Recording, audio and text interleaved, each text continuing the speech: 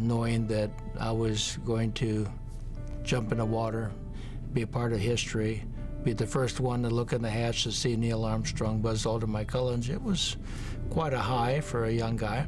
I was a member of the Underwater Demolition Team 11, and uh, just returned from Vietnam on my first tour. And uh, because of the rotation, our team was chosen to be a part of the Apollo 10 and 11.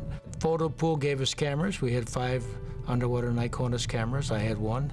And we took pictures in the close-up view of the astronauts and recovery. The thrill of just knowing that, and humbling, you know, to know that uh, when I looked in that hatch window, the first human being they saw when he returned was me, and uh, it was exciting. Sometimes when you're young and you're doing these things, maybe you don't see the hugeness of the moment, but looking back, it was pretty remarkable.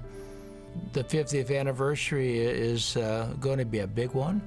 Now that we're going to go forward in space, uh, the focus probably will be on Mars and the other events, but uh, this is definitely a time to appreciate uh, what happened 50 years ago.